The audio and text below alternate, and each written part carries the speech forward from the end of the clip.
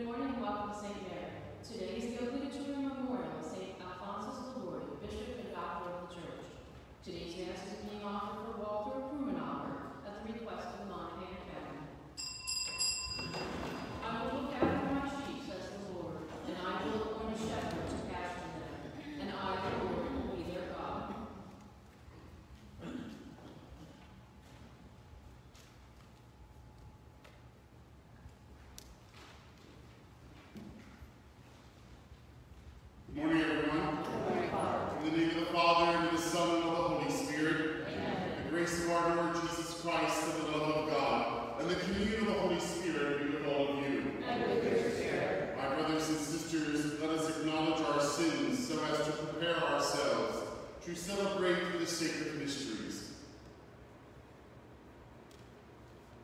confess, Almighty God, and to you, my brothers and sisters, that I have greatly sinned in my thoughts and in my words, and I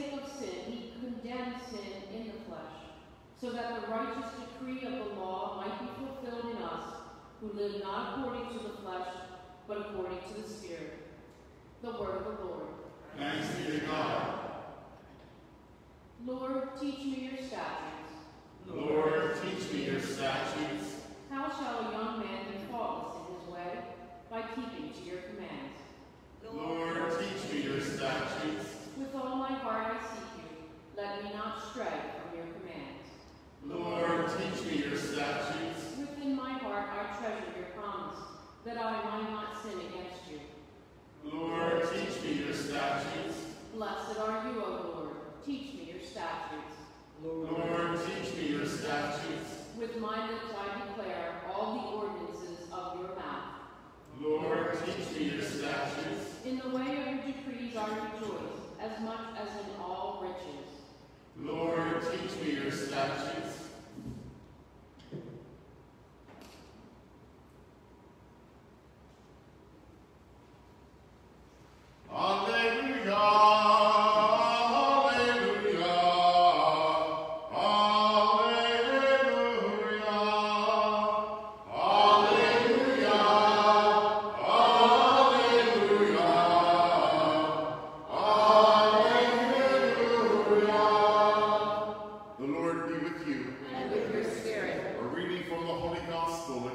to Matthew. Glory to you, O Lord.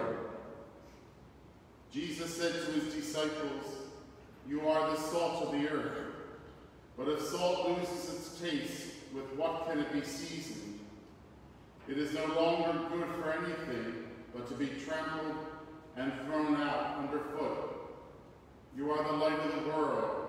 A city set on a mountain cannot be hidden, nor do they light a lamp and then put it under a bushel basket. It is set on a lampstand, where it gives light to all in the house. Just so your light must shine before others, that they may see your good deeds and glorify your heavenly Father. Do you do not think that I have come to abolish the law or the prophets? I have come not to abolish, but to fulfill. Amen, I say to you, until heaven and earth pass away, not the smallest letter or the smallest part of a letter will pass from the law until all these things have taken place. Therefore, whoever breaks one of the least of these commandments and teaches others to do so will be called least in the kingdom of heaven. But whoever obeys and teaches these commandments will be called greatest in the kingdom of heaven. The Gospel of the Lord. Praise to you, Lord Jesus Christ.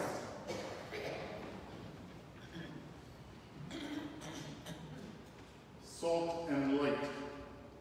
In this parable that Jesus presents to us, it gives sustenance and it gives life. Salt, for all of us, can be really in our own present life either a good thing or we better keep away from it because too much of it is not good for us. It's potent.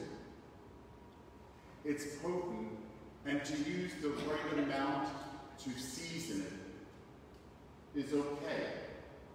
And that's the balance we have to make sure. Jesus calls us to be light of the world. We can't put ourselves under a bushel basket. No, we have to place ourselves out in the open so that it can give light, but not necessarily blind. So both in salt and light is a good balance and a healthy understanding of what God calls us to in this life. And we ask ourselves, are we good salt? Do we season things properly in our own life, right? And with our family and our friends? Or do we keep the salt away and say, no, I'm not going to season this because it's not good? I think salt needs to be used, but we have to use it in the right context. Not to avoid it, but just to use it properly. Sometimes we like to avoid situations, don't we? We don't want to bring up different topics. Or we don't want to respond to different topics. I'm not going to say a word about that. Well, it's good to say something, even if it's a little bit. You don't have to go into a big dissertation, but I think you need to address things.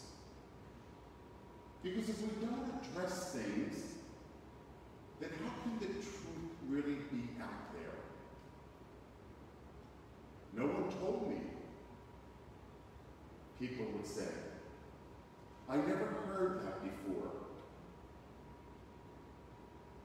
You are the salt of the earth. But if salt loses its taste, with what can it be seasoned?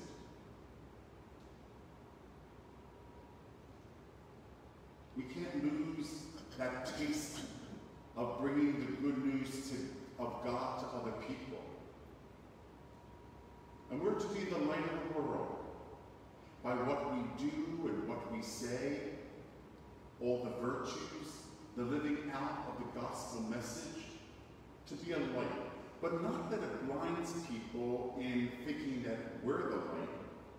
It has to be directed to God, correct? Everything has to be pointed in that direction. So salt and light are reflections for you and me to ponder about our own life in response to God's invitation. Do you think that I've come to abolish the law and the prophets?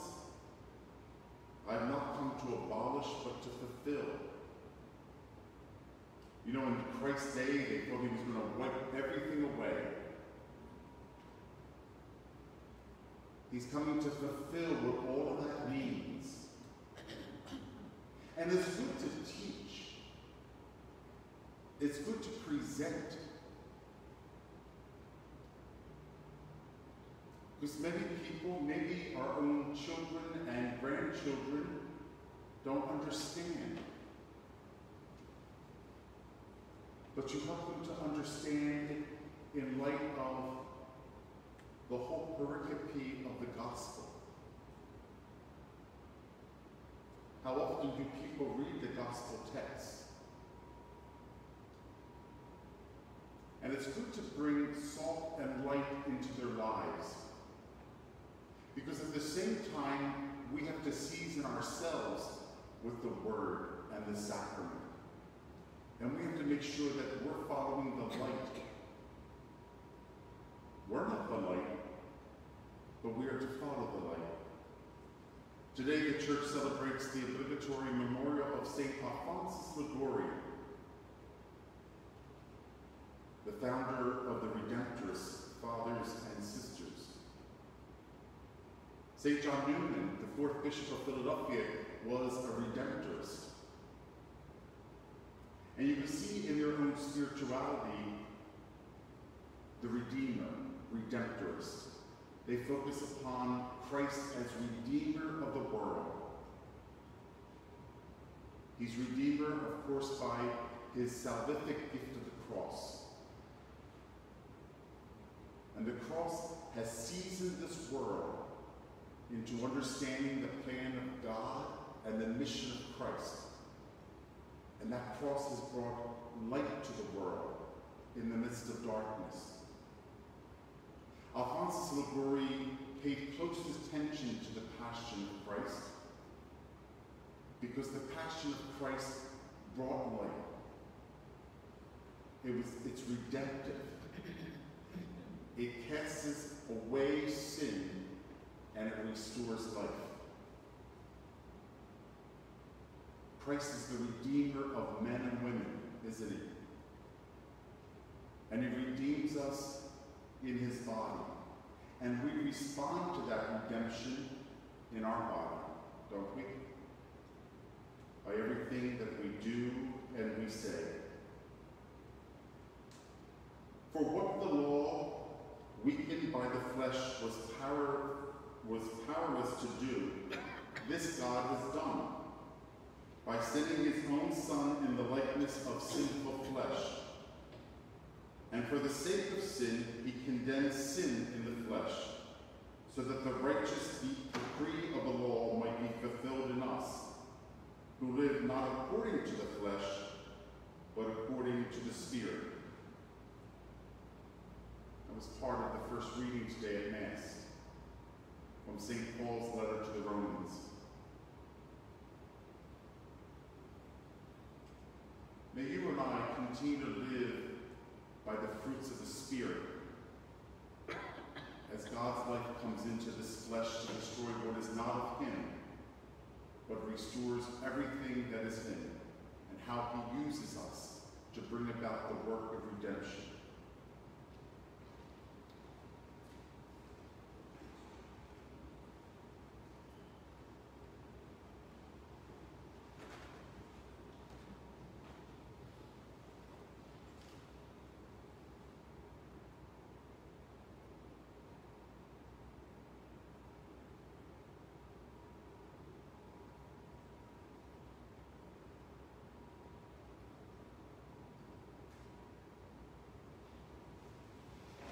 Reflecting on God's holy word, let us now place these petitions before the Lord with confidence and trust. For the church, may the Holy Spirit strengthen each of us in our baptismal vocation as true disciples. Let us pray to the Lord. Lord, hear our prayer. For those in authority, may God grant them the humility to be guided by his word. Let us pray to the Lord. Lord, May Christ the physician bring them healing and hope. Let us pray to the Lord. Lord, hear our prayer. For our faith community, may the Lord continue to help us speak the truth in charity to one another. Let us pray to the Lord. Lord, hear our prayer. For those who have died, may God welcome them into eternal life. Let us pray to the Lord. Lord, hear our prayer. For the sick and suffering, Aiden Brady, Roseanne Bonner, Gina Bocella, Luke Carroll, and all those on let us pray to the Lord. Lord, hear our prayer. And for Walter Krumenacker, for whom this Mass is being offered, let us pray to the Lord. Lord, hear our prayer. We also pray for the spiritual and temporal needs of St. Mary's Parish, so that all of us may further the mission of Jesus. Let us pray to the Lord. Lord, hear our prayer. Let us also pray for an increase in vocations to the priesthood and consecrated life, especially for members of our own parish family. We pray to the Lord. Lord, hear our prayer. Good and gracious God, we place these petitions before you. If they're in accord with your holy will, we ask you to grant them through Christ our Lord. Amen.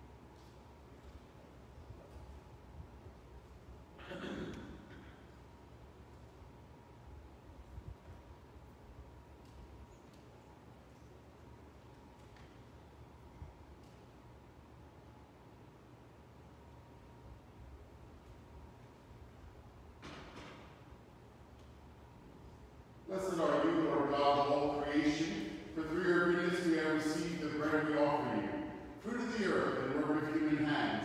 It will become for us the bread of life. Blessed be God forever. Blessed are you, Lord God of all creation, for through your goodness we have received the wine we offer you, fruit of the vine and work of human hands. It will become our spiritual drink. Blessed be God forever.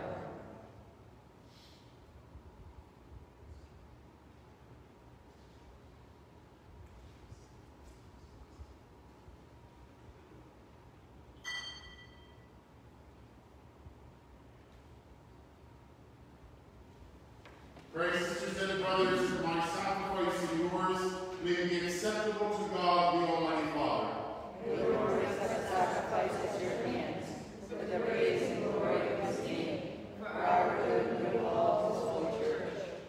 Be pleased, O Lord, to enkindle our hearts with the celestial fire of your Spirit, just as you granted that St.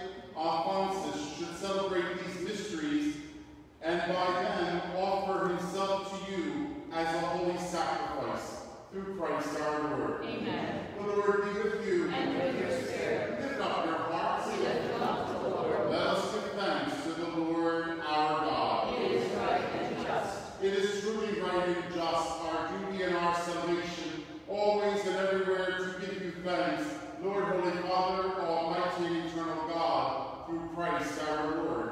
For as in the festival of St. Alphonsus Liguori, you bid your church rejoice, so too you strengthen her by the example of his holy life, teach her by his words of preaching, and keep her safe in answer to his prayers. And so, with the company of angels and saints, we sing the hymn of your praise, as without end we acclaim. Holy, holy,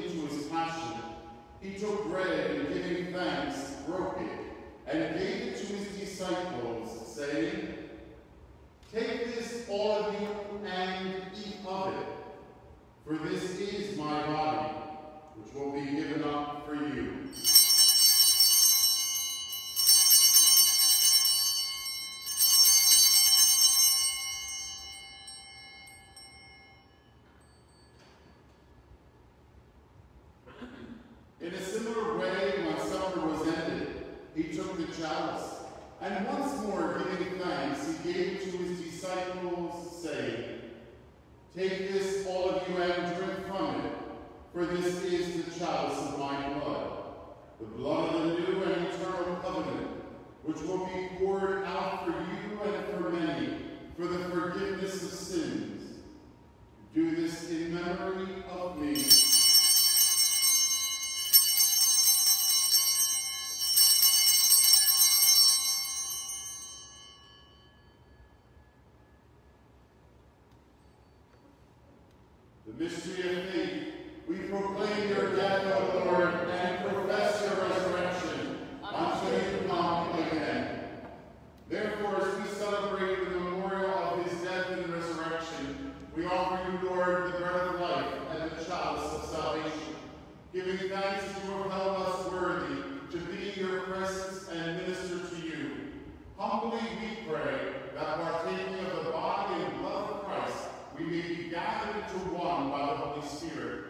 Remember the words your church spread throughout the world and bring her to the fullness of charity, together with Francis, our Pope, and Nelson, our Bishop, and all the clergy.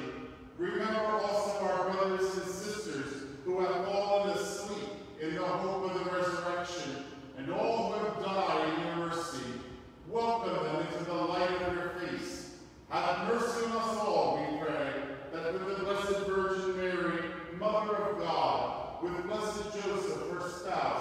with the blessed apostles and with all the saints who have pleased you throughout the ages, we may merit to be co-heirs to eternal life and may praise and glorify you through your Son, Jesus Christ. Through him and with him and in him, O God, Almighty Father, in the unity of the Holy Spirit, all glory and honor is yours forever. Savior's command, informed by divine teaching, we dare to